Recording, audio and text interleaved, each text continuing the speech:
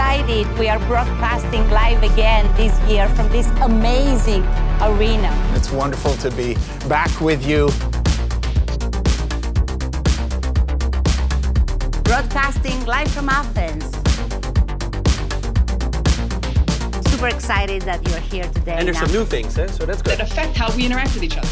να αναδείξουν και τις γυναίκες που έχουν, οι οποίες είναι ικανότατες. AI will be much better drivers of cars than any human is. Έχουμε το CEO panel.